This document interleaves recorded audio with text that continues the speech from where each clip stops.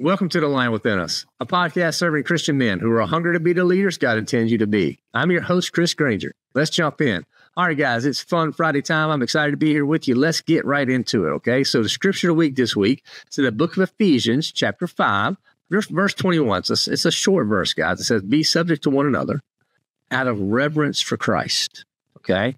Now go back. If you didn't listen to the spiritual kickoff episode that came out on Monday, so just two episodes back in your podcast feed, you'll find where I unpack this scripture at length to help you understand how you can simplify and apply it to your life. Because it's one thing just to have head knowledge of scripture. It's a whole other thing when you move it to your heart and then that moves it to action. And guys, that's what the spiritual kickoff episodes are all about. And Monday through Friday, we do those in our community. So if you haven't taken a chance to join our, our Lion Within Us community, that's a great reason to right there, just to have that little boost each and every day. So if you missed a conversation on Wednesday, we had a lot of fun with JP DeGance, uh, just unpacking the whole idea of marriage, uh, sex, sex. What does that look like in a healthy marriage? Uh, the challenges that come with single life, how sh- how we should be ministering and and doing all we can to equip and get ready the next generation so that they can have uh, the uh, the blessing that God promises and he provides with the covenant of marriage. So, guys, it was just a really good conversation. It definitely was alarming to hear some of the stats and all the things that are going on out there. But his comment at the end really hit me. He said, he said, it only takes one generation of Christian marriage. He said, change the world. One generation. If we got this right and we prioritized and we got everything aligned the way God would des- desires, and we and we made honoring glorifying God the priority in all we do in our single life, in our married life, everything. Man, that's going to be such a big deal. He said, I was just encouraged by by JP the, the way he shared that. So hopefully you guys got a chance to go listen to that and uh, definitely check out his book, End Game. Okay. All right. So let's get into it. Fun Friday. We're going to have our tips, our health, wealth, and our self tips. Health is how do we, we can be have stronger minds and bodies. Wealth is how can we ultimately be better stewards stewards of our finances and our careers. And the self tip is how can we grow as husbands and fathers. Okay. Now, the health tip this is a very practical one, guys. It's called the palm plan. Okay. So I'm kind of, for you guys on YouTube, I'm holding my hand up and I'm, I'm cupping my palm. So a good tip for estimating the amount of carbs that you have per meal is to use the palm method. Okay. Uh, so, so this, what you do is you just say, okay, if I can put the amount of carbs into my palm, that's a good goal. So it usually equates to about a half a cup to one cup of carbs. Uh, and that, that varies based on your size. Okay. Again, we're not trying to give ultimately you know, uh, diet advice. We're just trying to use MedSites, but it can help you have a visualization to maintain a balanced meal. Okay, without overloading on carbs. And there's some diets out there and, and, and different types of restrictions where you just eliminate carbs. Okay, but the carbs bring you a lot of energy.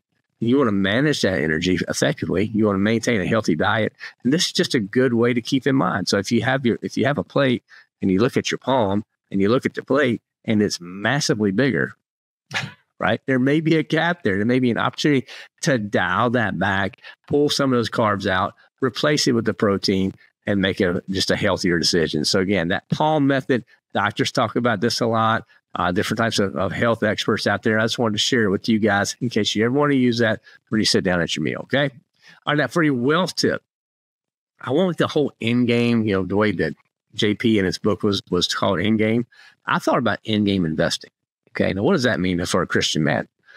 That means we need to prioritize that long term goal over any short term uh, gratification.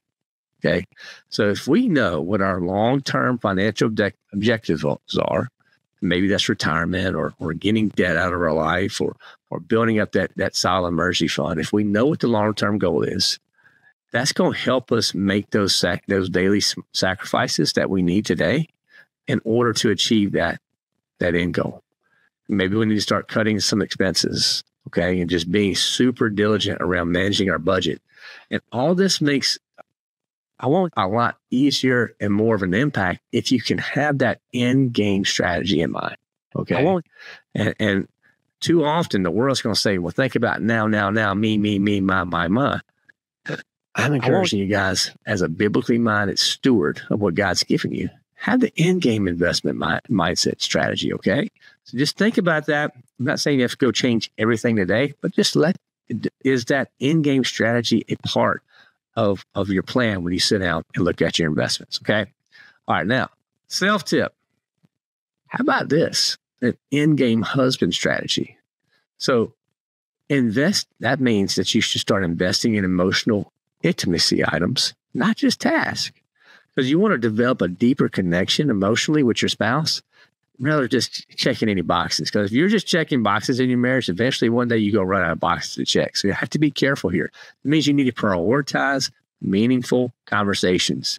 You need to prioritize that quality time. You need to prioritize active kindness to strengthen your marriage. You know, you need to just prioritize just being together, right? And making that a big deal. Invest in your relationship with some intentionality if you really want this thing to last. Okay. Because again, we don't I don't want any listener out there for the Lion Within Us to just have an okay marriage. I want you to have a phenomenal marriage, just a, a fantastic and incredible marriage, because that's what God designed it to be.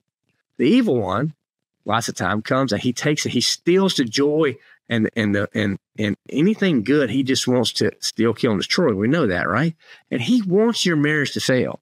Don't don't miss that for a second. So if you hear my voice and you're married right now and you are two Christians, know this the evil one wants your marriage to fail. He's going to stop at nothing to ensure that your marriage does fail. The question is, what are you going to do about it? Are we just going to sit idly by and let things happen? Or are you going to take a proactive stance and stand and fight and push back against the evil one?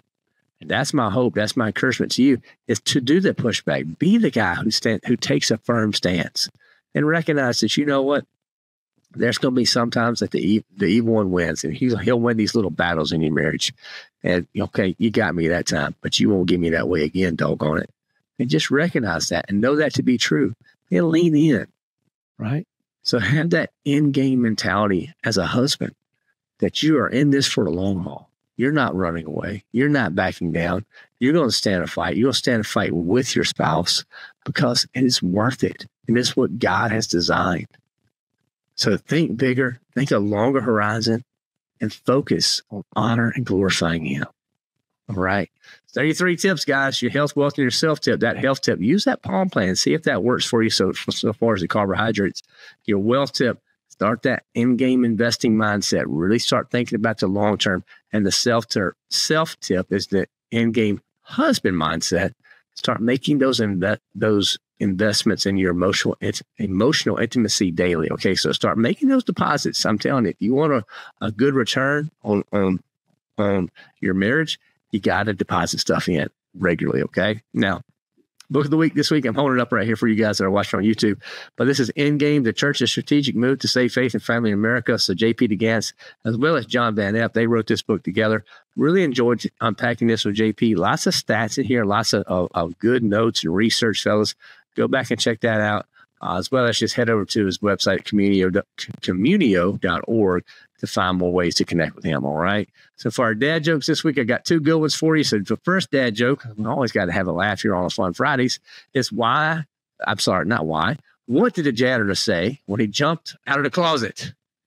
Supplies. There you go. So the janitor just got to say supplies, guy. Come on, fellas. So that's a good one to say around the dinner table tonight. Number two, why do seagulls fly over the sea? Because if they flew over the bay, they would be bagels.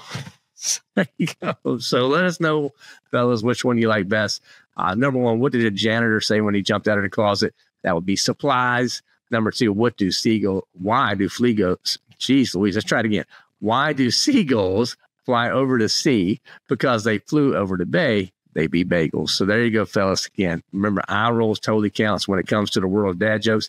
And if you have a dad joke that we should use and we haven't pulled, pulled it and used it yet, send it in. Okay, support at thelionwithin.us. Let us know what your dad jokes are. If we use it on the show, we'll give you a shout out. We'll also give you some free swag just to, and just to say thank you for taking the time to connect with us. So again, support at thelionwithin.us. Send me your dad jokes in, okay? So now the question of the week this week, we've been talking about it all week, guys. What does the role what role does hu- uh, humility play in your family life?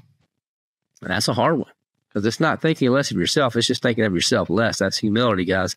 And how is that showing up in your family life? Does your family see that? Does your spouse, do your children, do your does your parents, all the, the grandparents, all that stuff out there, do they see this humility?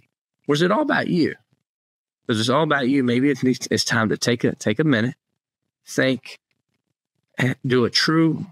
Because it's all about um, dive into to to the way that you're leading see if there's something I need to adjust or there's some things I need to consider in order to honor and glorify God better in my marriage, in my family, in the around the ones that I love. So hopefully you guys enjoy that, fellas. So uh, hopefully, uh, again, thank you just for listening to the Lion Within Us. Uh, just so encouraged by the supports you guys show us each and every week. Uh, if you want to be a monthly donor, that'd be huge. Just go to the lionwithin.us. You'll see a donate button there. You can support the show. But I'd really love to see you just jump in our community, start engaging with us on a regular basis. Uh, inside our community, we have stuff going literally every day of the week.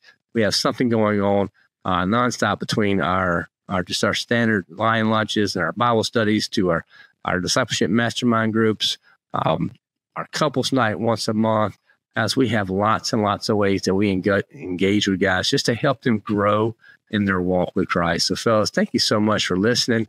Come back on, Mon- on Monday. Good Lord willing, we'll have some more episodes out here for you. Hopefully, just to encourage you, equip you, uh, and just to be there with you in your walk as you grow to be the leader the God has called you to be. So, thank you again. And just can't thank you enough for the support and have a great weekend. So, get out there and just keep unleashing the lion within. House cats, go ahead and skip this message. This is for the lions because we know that the evil one is coming at you daily, trying to steal, kill, and destroy everything in your life. We recognize that you try to face each day with strength, determination, and purpose. But even the strongest need a brotherhood behind them. At The Lion Within Us, we created an online Christians men community where we can grow connect, and strengthen your walk with God. It's more than just a community, it truly is a brotherhood. Be warned, this is not for the faint hearted. This is where you push your limits, growing stronger in your faith and rising above the ordinary. Here, we challenge you to become the leader God intends you to be. The time to act is now, and your 30 day free trial is waiting. No excuses. No delays. It's time to step up and join the community. Head over to thelionwithin.us. That's thelionwithin.us to get started today.